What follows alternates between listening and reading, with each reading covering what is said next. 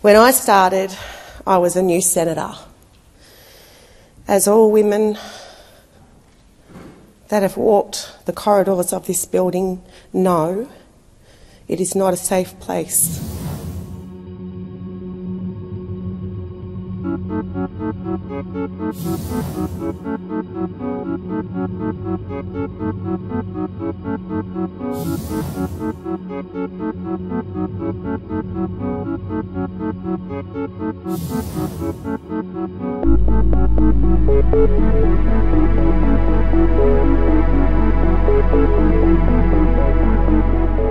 When I started, I was a new senator.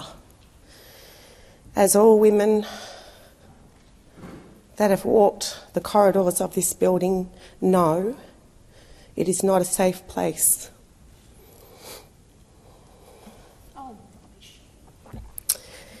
You are often alone in long corridors with no windows and in stairwells hidden from view.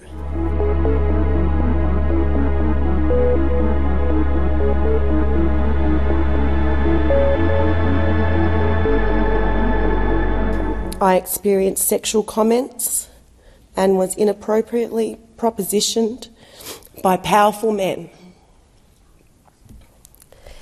One man followed me and cornered me in a stairwell, and most of this was witnessed by staff and fellow members of parliament.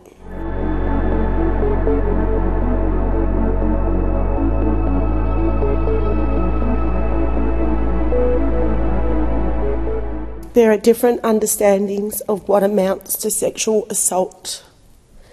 What I experienced was being followed, aggressively propositioned, and inappropriately touched. I was afraid to walk out of the office door. I would open the door slightly and check the coast was clear before stepping out.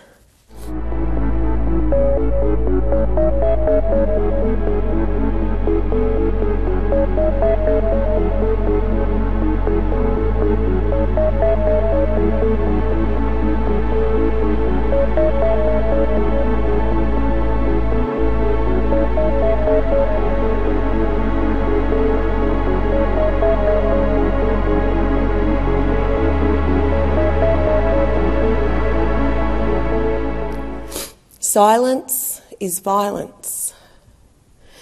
And yesterday I could not stay silent.